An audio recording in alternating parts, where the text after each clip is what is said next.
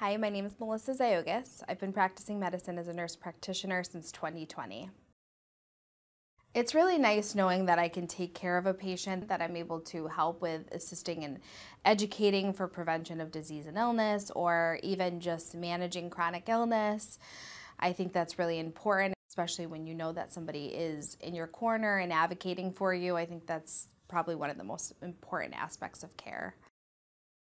Initial visit, we get to know each other. We discuss what their goals are, what expectations they have, what expectations I may have, what I can offer patients, and just build that relationship so they can trust me and they know that they can count on me if they need me, and we can have a good relationship together.